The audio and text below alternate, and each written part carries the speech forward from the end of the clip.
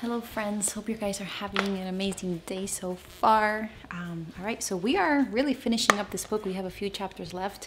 I think by next week we should be done. Um, and this is the Jesus Storybook Bible by Sally Lloyd Jones. It's been amazing um, to go through this book with you guys.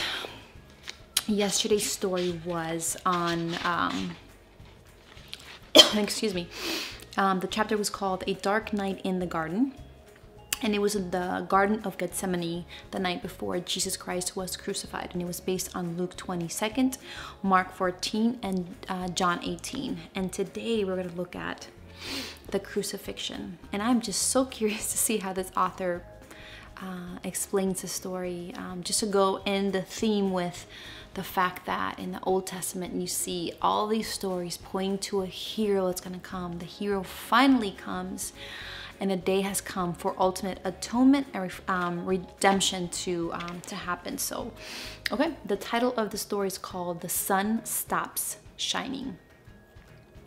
So you're a king, are you? The Roman soldiers jeered. Then you'll need a crown and a robe. They gave Jesus a crown made out of thorns and put a purple robe on him and pretended to bow down to him.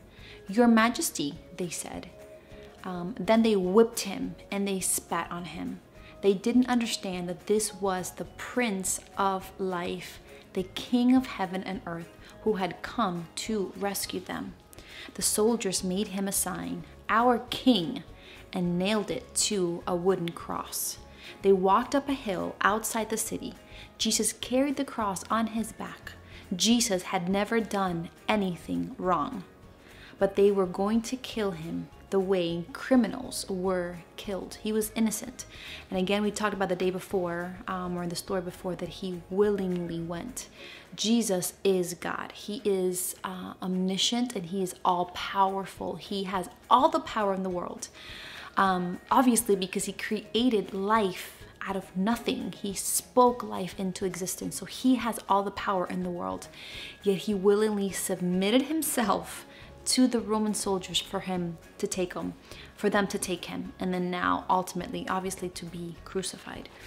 So this is Jesus right here, the Roman soldiers taking him, and he's carrying his cross with his robe and his uh, crown of thorns.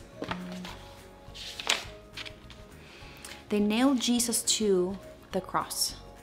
Father, forgive them, Jesus gasped. They don't understand what they are doing. So even then, Jesus is still praying for his accusers. Even then, Jesus is still praying for those who are making him suffer so much, okay? Um, you say you've come to rescue us, people shouted, but you can't even rescue yourself. Again, because he was willingly doing this for us. But they were wrong. Jesus could have rescued himself. A legion of angels would have flown to his side if he'd call. If you were really the Son of God, you could just climb down off that cross, they said. And of course, they were right. Jesus could have just climbed down. Actually, he could have just said a word and made it all stop. Like when he healed the little girl, remember that? Like when Jesus healed all these miracles that we see. I love how she's bringing us back to all those miracles to show how powerful he is, that he could have absolutely come and come down. Um, how so how he healed the little girl and he stilled the storm and he fed the 5,000 people. So Jesus again is God. He is all powerful. But Jesus stayed. You see, they didn't understand. It wasn't the nails that kept Jesus there, it was love. So, Him being there on the cross, be there thinking, well, you can't come down because of nails, right? You are limited. And Jesus like, no, what's holding me up here is the love that I have for you guys because I want you guys to have reconciliation now with the Father because you guys have sinned. And because of your sin, you can't. It is impossible.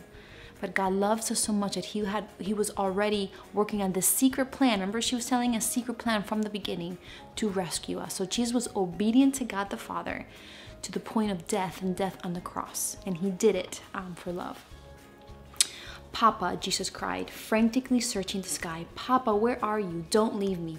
And we think a lot of times that the suffering that Jesus did was physical, and it was absolutely. If we sit here and try to imagine what he went through on the cross, um, it was unbearable. I think I heard the story that um, men usually would have lasted a whole day, but because of the beating, right, that Jesus received and how bad, you know, the torture was, he only lasted six six hours, and that's how bad it was.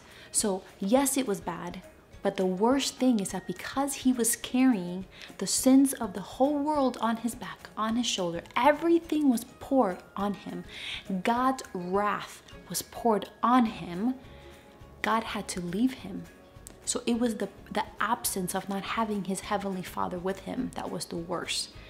God himself had to turn his back on his son so that he was able to carry the sins of the whole world and ultimately pay for them. Okay, so that's why he was like, Papa, don't leave me, I'm here.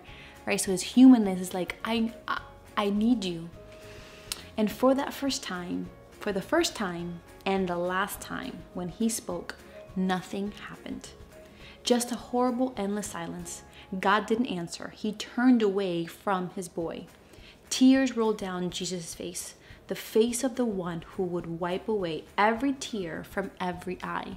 So he was crying and he was going to be the one to, to wipe the tears from everyone because real hope was going to come from him. So this is Jesus right here, and this is the sign that the Romans had done to kind of laugh at him as a mockery. Even though it was a midday, a dreadful darkness covered the face of the world. The sun could not shine, the earth trembled and quaked. The great mountain shook, rocks split in two, until it seemed that the whole world would break, that curtain itself would tear apart. The full force of the storm of God's fierce anger at, the, at sin was coming down on his son instead of his people who deserved it, we who deserved it. It was the only way God could destroy sin and not destroy his children whose hearts were filled with sin. So he wanted to destroy sin and not us, his children. So the only way was for pretty much God himself, right? Jesus, to pay for it. Then Jesus shouted out in a loud voice, It is finished. Then Jesus shouted out, sorry, and it was. He had done it. Jesus had rescued the whole world. Father, Jesus cried.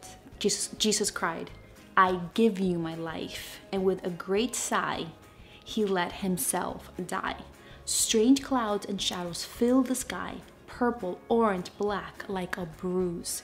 Something so important here it says that Jesus gave his life. No one took his life. He gave he um, gave his spirit up to God, meaning he was the one who gave his life. No one killed him. Yes, they tortured him. Yes, their intentions were to kill him. But at the end of the day, because he is still God himself, he was the one who willingly gave his life okay? So here's the three crosses because we know of the, th the other two, um, I mean, she, she doesn't get into it, but the other two thieves that were crucified with Christ over here.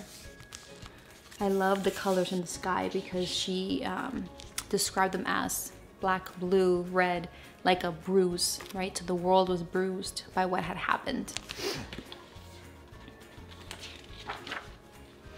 Jesus' friends gently carried Jesus. They laid Jesus in a new tomb carved out by rock of rock. How could Jesus die? What had gone wrong? What did it mean? They didn't know anything anymore, except they did know their hearts were breaking. So they were puzzled. They were like, this is God Himself. And they believed that He was God Himself. In so many ways, He made it clear to them and they understood. And that's what they were like, what's going on? You are God and you're dead? That's the end of Jesus, the leader said. But just to be sure, they sent soldiers to guard the tomb. They, haul- they hauled a huge stone in front of the door to the tomb so that no one could get in or out. This is it right here. These are the Roman soldiers. And this is the huge rock they put in just to make sure nobody would steal the body or would try to go in there. Okay? So that's the end of the crucifixion.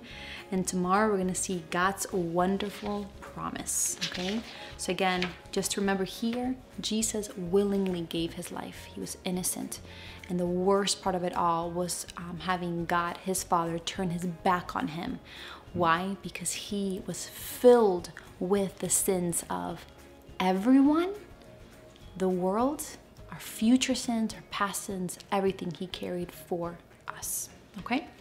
All right, guys, that's about it. Hopefully, I will see you guys tomorrow. Or, yeah, I'll do my best to go live tomorrow so we can, not live, Bible study. I used to go live. These are, these are Bible studies uh, tomorrow. So, yes, don't forget that our hope in life and death is in Christ Jesus, which is what, um, yeah, what I try to show, obviously, what the messages that I want to show you guys, what I want to portray to you guys, um, and everything that I do and say here in this channel. So, love you all. Stay tuned for a few messages for myself, and I will see you in my next video. Bye. Hello friends, thank you so much for taking the time to watch my videos. It really does mean the world to me that you guys take the time to watch his videos. I really appreciate it, so thank you, thank you very much. I have a few messages to share with you guys. They are not long at all, I promise. So number one, I accept prayer requests. Um, me and my family have a list that we pray for every single day. So if you want us to add you and your prayer requests to our list, just go ahead and message me, either leave a comment below or contact me through any of the social uh, media platforms that I have, and we will go ahead and add you to our prayer list. Number two, if you are on Instagram, you should totally be following me. Why? Because I post a lot more content there than I do here, obviously, on YouTube. I post pictures of my kids, recipes, and such. So if you're on there, go ahead and follow me.